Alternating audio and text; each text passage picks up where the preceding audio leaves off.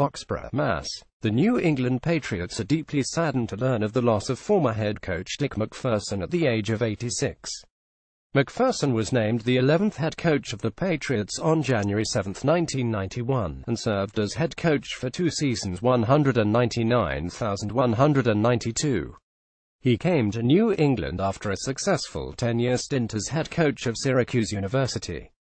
MacPherson took over a Patriots team that finished with a 115 record and led the team to a five-game improvement in his first season. He helped lead the Patriots to victories over three 1991 playoff teams and a 610 finish. In addition, the club lost three games by seven points or less. The five-game improvement helped MacPherson to finish fifth in NFL Coach of the Year balloting. MacPherson compiled a 66,464 career record in 10 years at Syracuse. The Syracuse football program had been to just one bowl game in 19 years before his arrival.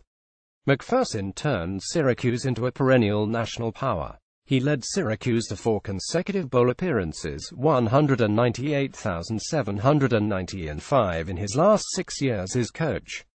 He went to Syracuse from the Cleveland Browns, where he served a linebackers coach from 197,880. After short stints at University of Illinois and University of Massachusetts, MacPherson was an assistant at the University of Cincinnati 196,165 before moving to the University of Maryland 1966. He broke into the NFL ranks in 1967 as a linebackers and defensive backs coach with the Denver Broncos. He later became defensive coordinator with the Broncos and remained there through the 1970 season. He left the Denver staff in 1971 to become the head coach at the University of Massachusetts 197,177.